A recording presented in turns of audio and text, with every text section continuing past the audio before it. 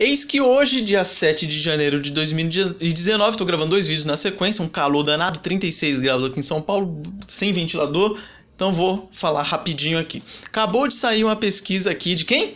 Folha de São Paulo, para variar dizendo o seguinte: maioria da população é a favor da educação sexual e da discussão de política nas escolas, diz Datafolha, e foi publicado pela Foice, pela Foice de São Paulo, né? Folha de São Paulo.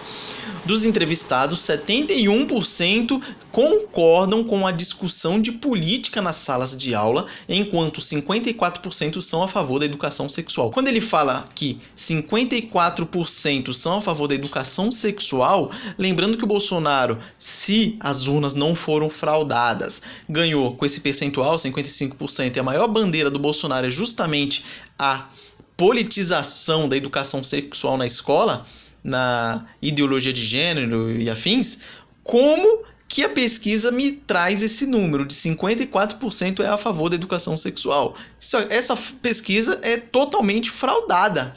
Isso aqui não precisa. Essa aqui, eu acho que essa aqui é aquela tal da, daquela frase lá que a pessoa cagou e sentou em cima. Porque essa aqui, às vezes eles até conseguem maquiar alguma coisa ali, a gente fica até na dúvida, pô, será que é verdade? Será que não é? Mas essa aqui não dá. Se Bolsonaro ganhou com 55% e depois 55% é a favor de educação sexual nas escolas, aí o cara, o cara tá de brincadeira. E ele também tá lá, 71% sobre discussão de política nas salas de aula. Tudo bem, 71%. Dependendo de como foi feita essa, essas perguntas aqui, eu também responderia que eu era a favor da discussão política na escola. E a forma como eles fazem a pergunta, para quem vai responder, te deixa meio no, no, numa corda bamba ali. A forma como eles fazem, quer ver? Assuntos políticos devem ser tema de aulas nas escolas? Claro que sim. Você tem que estudar a história política da sociedade, das civilizações e tal. Mas, mas o que, que a gente vê na realidade? A doutrinação. Na verdade, você vê uma parte da, da, da, doutrina, uma parte da política ali sendo escrachada e a outra sendo exaltada. Quantas vezes você já viu aí nas cartilhas do MEC aí a exaltação ao socialismo e a demonização do capitalismo? Mas, do jeito que ele faz essa pergunta, eu também responderia sim. Então, assuntos políticos devem ser tema de aulas nas escolas? Sim. O que não deve, o que, que não deve ter? A doutrinação. Aí que é diferente. Agora, a pergunta lá da educação sexual deve ser tema de aulas nas escolas, aí eu votaria não. Essa pergunta aqui também é capiciosa, mas educação sexual tem que ser dada pelos pais em casa.